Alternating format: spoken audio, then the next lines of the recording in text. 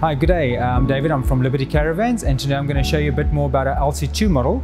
Um, for more details, you can see you have a look at the LC4 model video, but this is the two two sleeper. So on the outside, I can show you mainly the main differences are just the kitchen area. So this is the same as on the the other unit, except that this one hasn't got a window here. It's got the shower at the back, so you've got more packing space here for your kitchen area. So on the inside, you will see from the basin to the forward facing is everything's the same on the two sleeper and the four sleeper. It's just this one hasn't got the bunk beds at the back. It's actually got the proper bathroom at the back. You've got a built-in shower. You've got your up right up here. You have your hot and cold water. You've got the geyser in the front already. You've got your shower curtain. We don't put fiberglass trays in. This is aluminium, so this is not going to crack in time. The fiberglass is known for cracking, so we've bypassed that and just put all aluminium in. So. And on this side you can see this is the toilet. It's a proper cassette toilet. It's electric flush. So I'm just going to show you guys the awning that we fit. As I've said on the LC4 video, we use the Bunda awning. It's a 3, called a 360 degree awning. You'll see now it covers the front, the back, and the side.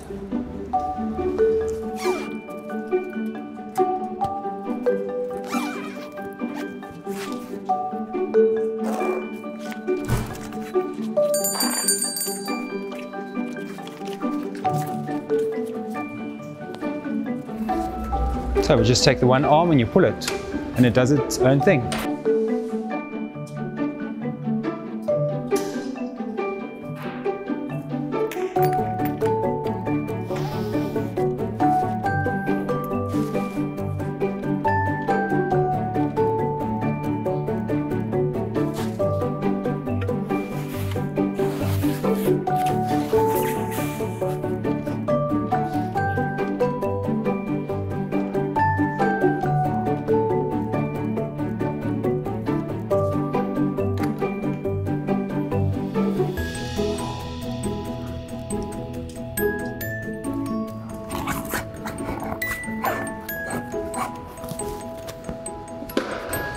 And there you have it, standing.